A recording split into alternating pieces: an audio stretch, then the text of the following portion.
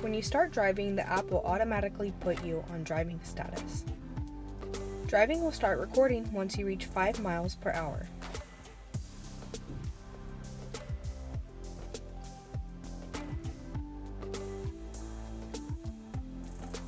When you stop, you can change status to on duty, or if you stop for longer than 6 minutes, the app will automatically put you on duty.